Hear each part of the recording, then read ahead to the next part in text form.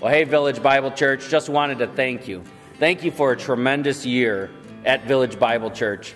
Uh, at Indian Creek, so far this month, we have had 71% of our people uh, participate in the giving.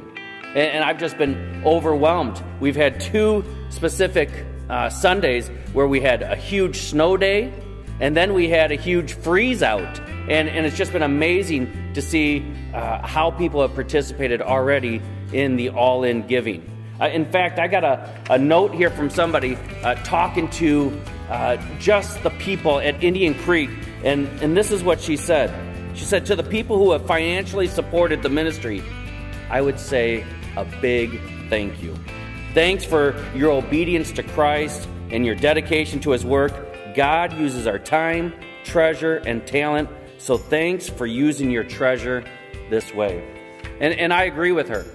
It, it, it's just been amazing to watch how the heart of the people at Indian Creek are, are so focused on um, how to continue to spread the gospel in real ways. We've been seeing that all over the place. We just saw that this past Sunday uh, with Jill and the Griffith family. What a great message it was to see that, that people just continue to serve Christ no matter uh, their age young, old, in between, at school, at home, in the church. It's just tremendous.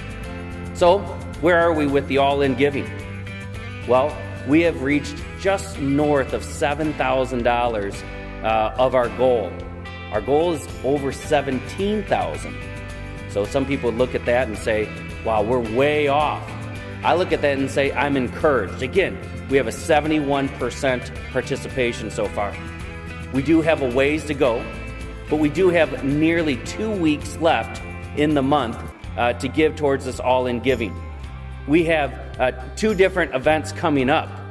Christmas Eve, we have coming up at Sugar Grove. Uh, we have a 4 o'clock service and a 6 o'clock service. I'd love to see you there. It's going to be a great time. And we also have our Christmas morning service at 9 o'clock. It's going to be a one hour service, but we'd love for you to be there and to participate. And obviously, you're welcome to give there, you're welcome to give online. You could even mail it in. We just appreciate you and appreciate what you are doing for God's ministry. We'll see you on either Christmas Eve on Sunday morning at Christmas Day, or we'll see you at both those events. I'd love to see you at both of them. Have a Merry Christmas.